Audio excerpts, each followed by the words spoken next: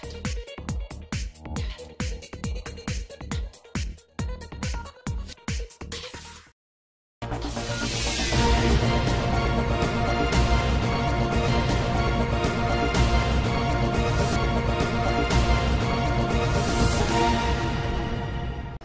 Hamirpur medical college में कार्यरत staff nurse आत्महत्या के मामले में अब तक कोई कार्रवाई न होने पर परिजनों में रोष बना हुआ है। मृतिका, नर्स मोनिका के आत्महत्या के लिए जिम्मेदार लोगों को सजा मिलने पर अब हमीरपुर डिग्री कॉलेज के छात्र भी सड़कों पर उतरकर न्याय की मांग करने लगे हैं।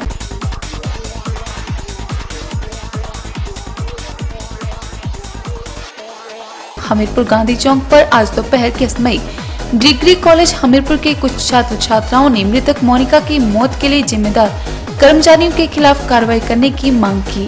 मृतक मोनिका की ननद कशिश ने बताया कि मृतक मोनिका को आत्महत्या करने के लिए जिम्मेदार वार्ड सिस्टर के खिलाफ कड़ी कानूनी कार्रवाई की जाए। उन्होंने बताया कि गलत बात है कि इस तरह स्टाफ से प्रताड़ना का शिकार नर्स होती है, लेकिन अभी तक कोई कार्रवाई आरोपी पर नहीं हुई है। इसलिए गांधी चौक पर प्रदर्शन कर न्याय की गुहार लगाई जा रही है।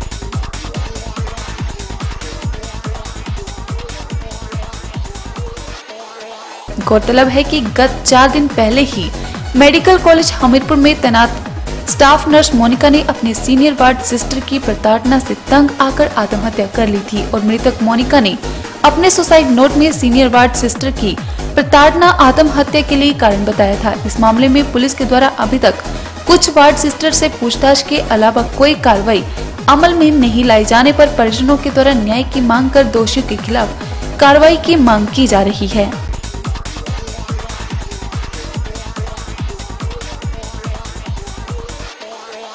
विभिन्न विभागों द्वारा चलाए जा रहे विकासात्मक कार्यों को गति प्रदान कर निर्धारित अवधि में पूरा करने के उद्देश्य से हर सोमवार को होने वाली समीक्षा बैठक हमीर भवन में उपायुक्त हरकेश मीणा की अध्यक्षता में आयोजित की गई। उपायुक्त ने माइनिंग अधिकारी को निर्देश दिए कि सड़क निर्माण को लेकर क्रशर बजरी के प्रयोग को सुनिश्चित करें तथा जहाँ खड के मटेरियल का प्रयोग किया जा रहा है, उनके खिलाफ नियमानुसार कार्रवाई करें। लोक निर्माण विभाग के अधिकारी भी ऐसे ठेकेदारों के विरुद्ध कार्रवाई करें, जो क्रशर मटेरियल के स्थान के खड्डों के मटेरियल का सड़क निर्माण के लिए प्रयोग कर रहे हैं।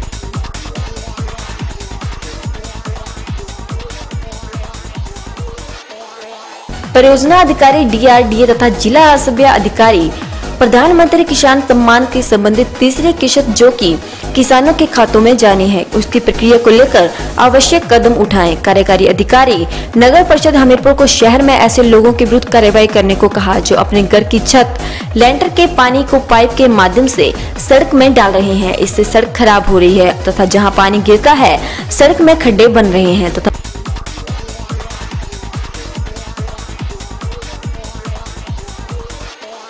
वाहन चालकों व राहगीरों को भी परेशानी का सामना करना पड़ता है। इसके अतिरिक्त शहर के टाउन हॉल की जिला मंडी के टाउन हॉल की तर्ज पर सीलिंग के लिए मुरम्मत प्राकलन तैयार करने को कहा गया, ताकि इसे सुंदर बनाया जा सके। साथ ही ईओ नगर परिषद को नगर परिषद के माध्यम से अपने आय स्रोतों को बढ़ाने के लिए भी कहा गया। शहर में अवैध खोखाधारकों के लिए किराए के पैसों को नगर परिषद सात दिन में वापस करे तथा अवैध रूप से रहने वाले खोखा धारकों के बिजली, पानी के कनेक्शन काटने को लेकर आवश्यक कार्रवाई की जाए।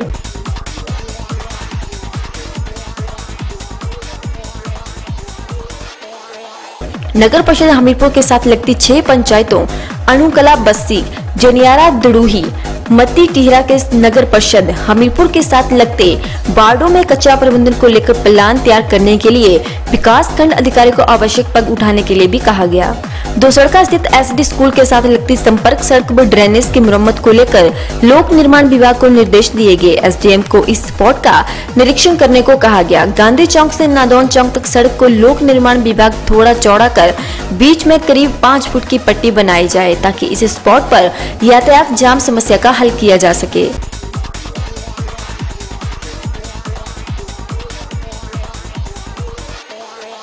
क्षेत्रीय परिवहन अधिकारी को गांधी चौक से अणु चौक तक ऐसे सभी प्राइवेट बस चालकों के खिलाफ कार्रवाई करने को कहा गया, जो गाड़ी को जानबूझकर रुक रुक कर चलाते हैं। वो अणु चौक में अकारण खड़ी कर देते हैं। इससे सवारियों को दिक्कतों का सामना करना पड़ता है। प्राइवेट टैक्सी चालक सवारियों को न डोए इसके लिए नियमित रूप से चेकिंग की जाए। जिला में 10 किलोमीटर के दायरे में टैक्सियों को किराए की दरें निर्धारित की जाएँगी। इसके लिए आरटीओ को शीघ्र इस दायरे में आने वाले स्थानों की सूची उपलब्ध करवाने को कहा गया।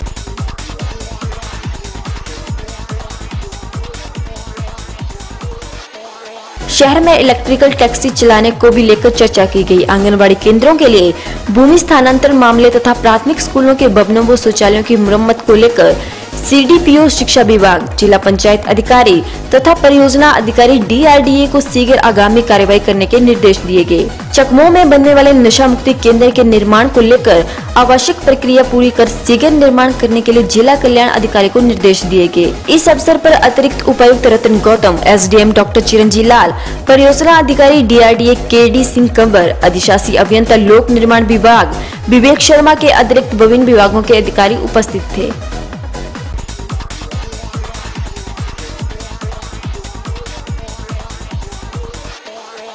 हमीरपुर जिला में चोरों के पकड़ने के लिए पुलिस बुरी तरह नाकाम सिद्ध हो रही है, क्योंकि पिछले कुछ महीनों से हुई चोरियों के मामले में पुलिस कोई सुराग नहीं लगा पाई है। करीब छह माह पहले कुछ अंतराल में हुई सात चोरियों के मामले में पुलिस की छानबीन आज तक पूरी नहीं होने से लोगों में गहरा रोष पनपा हुआ है।